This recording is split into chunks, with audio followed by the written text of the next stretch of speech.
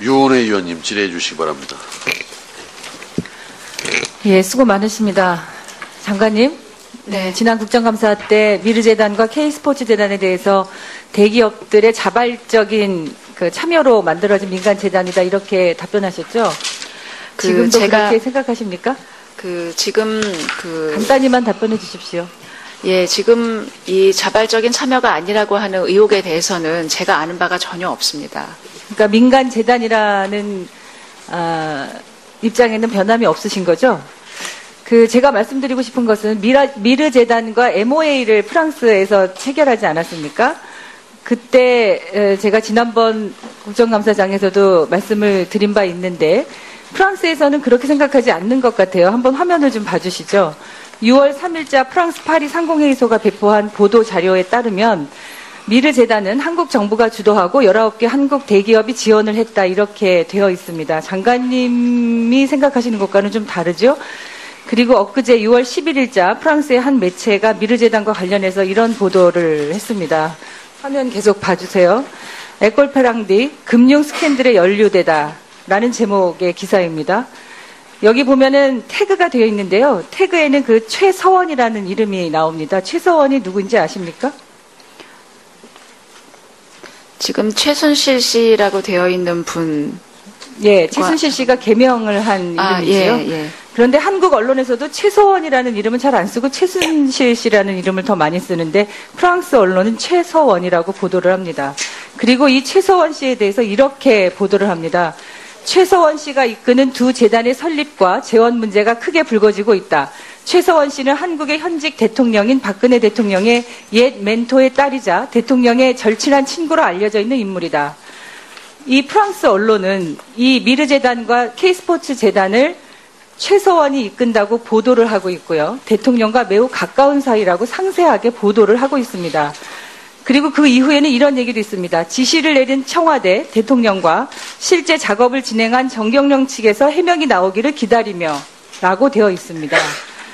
그리고 마지막엔 또 이런 것도 있어요. 이번 사건으로 인해서 자금의 성격을 개의치 않는 프랑스 단체와 의혹에 쌓인 한국인 간의 의심스러운 유착 관계를 맺은 사례가 하나 더 늘어나게 되었다. 이렇게 보도하고 있습니다.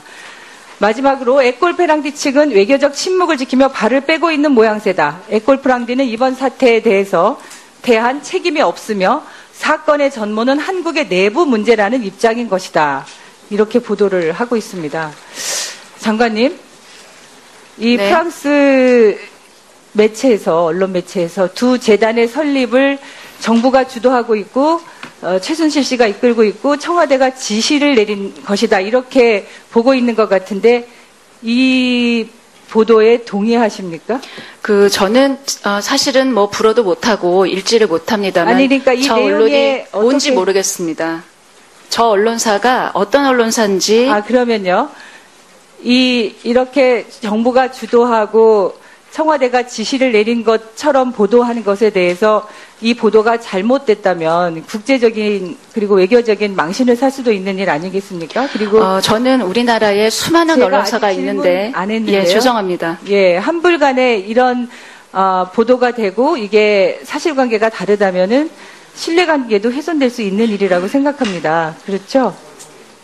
이번 고 에꼴페랑디와 미르재단의 한식 사업의 영향을 이 전체적인 그 상황은 어, 이, 사- 뭐, 이 상황으로 인해서 한식 그 이 세계화 사업에 어, 지장을 가져오지 않기를 바라고 있습니다. 질문한 게 아니고요.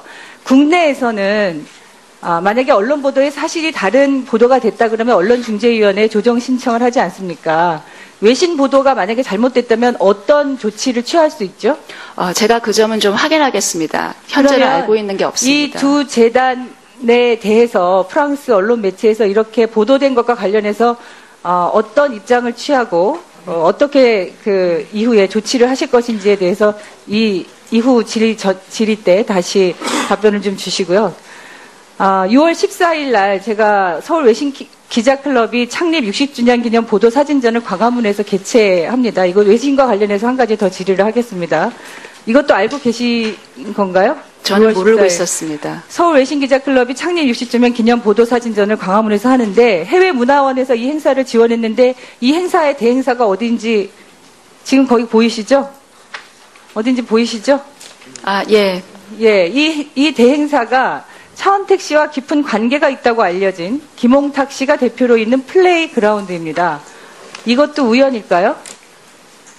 미르재단과 K스포츠 재단과 연루되어 있는 인물들은 어떻게 이렇게 하나같이 우연에 의해서 모든 사업을 그것도 굉장히 많은 예산을 지원받으면서 다 맡아서 그렇게 가져갈 수 있는지 저는 참 의심스러울 수밖에 없습니다. 아, 이 업체와 어떻게 계약에, 매- 계약을 맺게 되었는지 지금은 모르시죠, 장관님? 예, 저는 알지 못합니다. 예, 그러면 이것도 다음 질문 전에 경위를 그 파악을 하셔서 질문 때 다시 물어보면 제가 시간이 제한돼 있으니까요. 질문하기 전에 오 질, 에, 그 보충 질문하기 전에 두 가지에 대해서 서면으로 일단 우선 답변을 좀 해주시기를 요청드립니다. 그리고 앞서 이 그 미르재단 설립 허가와 관련해서 어, 이메일 수발신 내용을 이제 복원했다고 가져온 리스트를 보니까요. 파일명만 한 이만큼 두께 지금 문서를 전문의께서 가지고 계시는데 굉장히 두꺼운 그 파일명을 복구해서 가져왔는데요. 그 저희가 찾고자 하는 파일은 없었습니다. 그것만 없다는 거예요. 왜 그럴까요? 그, 그, 관계된 파일만 없을 수 있나요? 덮어치기 하고 그래서 없다고 네, 하는데요. 끝난 다음에 말씀드릴게요. 예. 이게 장관님께서 생각하시기에는 복원을 했는데 미르재단 설립 허가와 관련된 메일만 복, 복원이 안 됐어요. 이거 어떻게 해석할 수 있겠습니까? 합리적으로 의원님. 의심할 수밖에 없는 거 아니요, 아니에요? 의원님. 저희도, 저희도 이 직원은 수일 전부터 그 자료를 받았다 하고, 그 받은 자료를 개인 메일, 개인 메일로 받아서 보고서에 그 파일을 첨부했고, 그 파일에는 작성 날짜가 이 받은 직전 날인가로 되어 있다고 해서, 저희도 그게 좀 나왔으면 좋겠습니다. 근데 기술적으로 그 저도 보고서를 읽어보니까 너무 기술적인 내용이라 뭐가 복구가 되고 뭐가 복구가 안 됐는지를 이해하기가 어렵게 되어 있는데 만약에 허락해 주신다면 우리 담당 국장한테 자세하게 그게 왜 딱 그것만 복구가 안 된 건지 아니면 다른 것도 복구가 안 됐고 그 중에 복구가 된 게 7천 건인지를 설명을 올리도록 하겠습니다.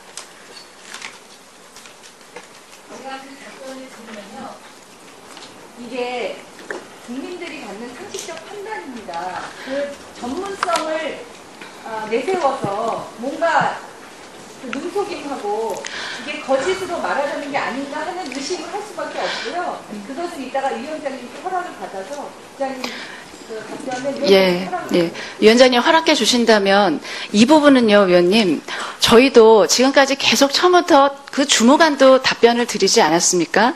주무관이 그렇게 성실하게 답변한 내용이고 이 그 복원을 해서 이 자료가 나온다면 나오기를 저희도 바라고 있습니다. 그런데 이메일을 받았다는 그 사, 그 기업에서는 절대로 이거는 뭐 압수수색을 하기 전에는 못 준다고 하고 그래서 저희가 다시 공문까지 보냈습니다. 이거는 당사자가 동의하니까 그 부분은 좀 그 확인해 달라라고 해 놨고요. 이 부분도 저희도 그게 좀 나왔으면 좋겠다는 아닙니다. 의원님. 그렇지 않습니다. 그래서 제가 그 설명을 좀 올렸으면 하는 겁니다. 지금 그 기술적인 내용에 관해서. 어디 윤 의원님 들으시겠어요? 그 실무국장 답변을 들으시겠어요?